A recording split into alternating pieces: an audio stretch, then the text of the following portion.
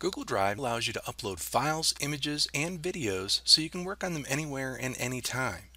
But also, with this new update, if you're using the latest version of Chrome or Firefox, you can now drag a file right from your desktop directly into a specific drive folder or even subfolders.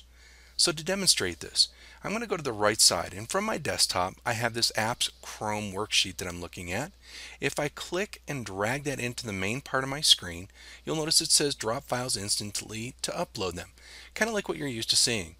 However, with this new addition of functionality, if I click and I hover over the specific folder that I want to upload it to, you'll see there at the very bottom in the middle of my screen, it now says drop files to instantly upload them to the specific folder that I want them to go let go. That file will now be uploaded and now it's going to be in that example 1 folder. And there it is. So just some new functionality that now instead of just uploading them into your My Drive area, you can now literally drag them and drop them into a specific folder or subfolder within your drive.